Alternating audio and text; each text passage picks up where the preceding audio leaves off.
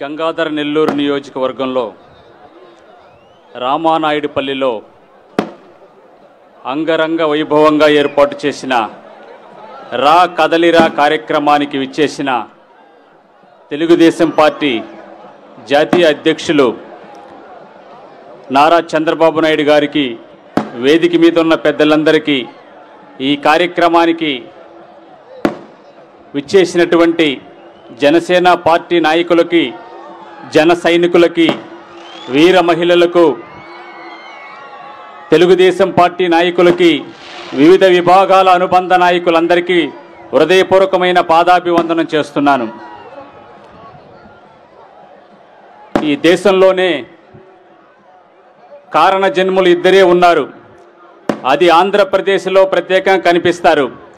ఒకరు పవన్ కళ్యాణ్ రెండవ వ్యక్తి చంద్రబాబు నాయుడు గారు. ఆంధ్రప్రదేశ్ రాష్ట్రానికి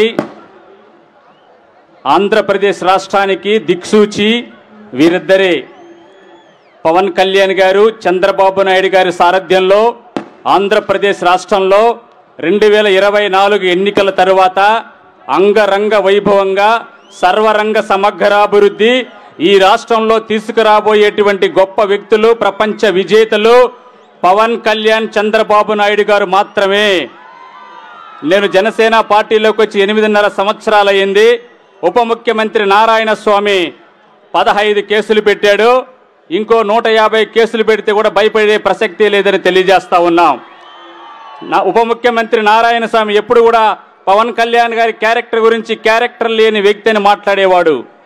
చంద్రబాబు నాయుడు గురించి అతను వెన్నుపోటుదారుడని అనేక సందర్భాల్లో ఎద్దేవా చేశాడు.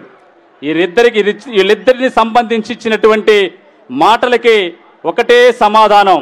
రెండు వేల ఇరవై నాలుగులో నువ్వు నిలబడ్డా నీ కూతురు నిలబడ్డా నిన్ను ఓడించి ఇంటికి పరిమితం చేయబోయేది గంగాధర్ నెల్లూరు నియోజకవర్గంలో ఉన్న జనసేన తెలుగుదేశం పార్టీ నాయకులు. దగ్గరుండి నిన్ను ఓడించి నీకు చరమగీతం పాడి నీ మీద సిబిఐ ఎంక్వైరీ వేసి నువ్వు అవినీతి పరుడని చెబుతున్నటువంటి నీ మేనల్లులు నిన్ను అవినీతి పరుడని చెబుతున్నారు. పదే పదే చెబుతున్నటువంటి ఈ అవినీతి పరుడు యొక్క మొత్తం లెక్కలన్నీ కూడా బయటకు తీస్తామని తెలియజేస్తా ఉన్నాం. ఒకవైపు పవన్ కళ్యాణ్ గారు స్వార్థం లేనటువంటి వ్యక్తి ఆశ్చర్యమైనటువంటి ఆలోచన శక్తితో ముందడుగు వేసి తెలుగుదేశం పార్టీతో కలిసి ఒక అనుభవశాలైనటువంటి ఒక మహోన్నతమైనటువంటి మూర్తి చంద్రబాబు నాయుడు గారితో కలిసి ఒక సరికొత్త పందాలో సరికొత్త ప్రజాప్రభుత్వాన్ని ఏర్పాటు చేయబోతున్నారు. ఈ సందర్భంగా ఒకటి తెలియజేస్తున్నాం.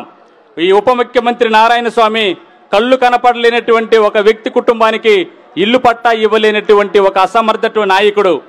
పత్రికా విలేకరుల మీద తప్పుడు కేసులు పెట్టినటువంటి అసమర్థుడు నారాయణ స్వామి. వెదురుకుప్పం కార్వేట్ నగరం మండలాన్ని తిరుపతి జిల్లాలో కలపలేని అసమర్థ నాయకుడు నారాయణ స్వామి. అదేవిధంగా నిరుపేద ముస్లింలకి జగనన్న కాలనీలో చోటు కల్పించలేని ఉప ముఖ్యమంత్రి అసమర్థుడైనటువంటి నారాయణ స్వామి.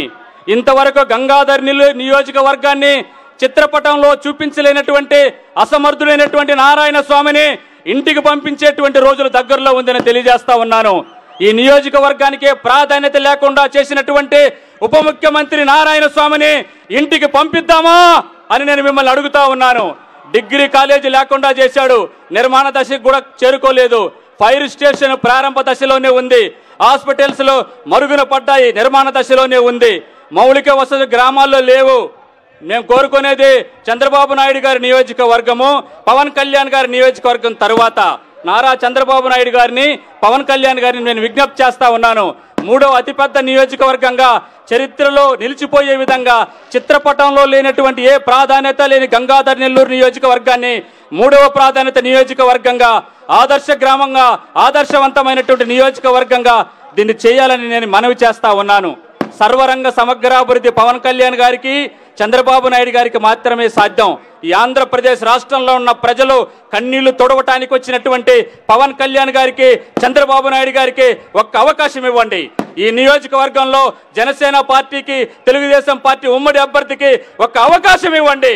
వాళ్ళందరిని ఇంటికి పంపించి కష్టం లేనటువంటి ప్రజల పక్షాన మనం నిలబడదాం. కన్నీళ్ళు ప్రజల కన్నీళ్ళని మనం తుడుద్దాం. ఒక వ్యక్తిని గుర్తించటం ఆ వ్యక్తిలో ఉన్న ప్రతిభను గుర్తించటం ఆ ప్రతిభ మానవ సమాజానికి అవసరం అవుతుందని గుర్తించడంలో ముందంజలో ఉన్నటువంటి కారణ జన్ములైన పవన్ కళ్యాణ్ గారికి చంద్రబాబు నాయుడు గారికి ఒక అవకాశం ఇచ్చి ఈ రాష్ట్రంలో సర్వతోముఖ అభివృద్ధిని తీసుకురావాల్సిందిగా మిమ్మల్ని అందరినీ సవినయంగా కోరుకుంటూ సెలవు తీసుకుంటున్నాను. జై జనసేన జై తెలుగుదేశం జై పవన్ కళ్యాణ్ జై చంద్రబాబు నాయుడు. ధన్యవాదాలు. యుగంధర్ గారు దయచేసి ఇప్పటికి పది సార్లు అనౌన్స్ చేయడం జరిగింది. రోడ్డు మీద నిలబడి ఉన్న వాళ్ళు లోపలికి రావాలా? మీరు నిలబడడం వల్ల మేము నిలబడడం వల్ల మీకేం ఇబ్బంది అనుకుంటున్నారేమో? కొత్తపల్లి మిట్ట వరకు ట్రాఫిక్ జామ్ అయింది. వెహికల్స్ వస్తే కదా ఇక్కడికి జనం రావాలా? గంగాధర్ నెల్లూరు దాటి చిత్తూరు అక్కడ టానా వరకు కూడా జనం వెహికల్స్ అన్ని కూడా ట్రాఫిక్ జామ్ అయినాయి. మీరు రోడ్డు క్లియర్ చేస్తే అక్కడ వెహికల్స్ ఫ్రీ మూమెంట్ ఉంటుంది. వాళ్ళు రావడానికి అవకాశం ఉంటుంది. మీరు అక్కడ స్ట్రక్ చేయడం వల్ల వెహికల్స్ ఆగిపోయాయి. కొత్తపల్లి మిట్ట వరకు కూడా జనం ఇక్కడికి రాలేకపోతున్నారు. అర్థం చేసుకోవాలి. పోలీసులు కూడా సహకరించాలి. అటు ఉన్నటువంటి వాళ్ళందరినీ కూడా లోపలికి పంపించాలి. ఎక్కడ కూడా వాళ్ళు ఎవరిని ఆపొద్దని రిక్వెస్ట్ చేస్తున్నాం. ఇక ఆ బారికేడ్ల దగ్గర నిలబడి చెకింగ్ చేస్తున్నటువంటి పోలీస్ సోదరులకు కానీ ఎంట్రీ పాయింట్ వారి దగ్గర చెకింగ్ చేస్తున్న పోలీస్ సోదరులకు కూడా రిక్వెస్ట్ చేస్తున్నాం. వారందరినీ త్వరగా పంపించండి. బయట కొత్తపల్లి మిట్ట వరకు కూడా ట్రాఫిక్ జామ్ అయింది.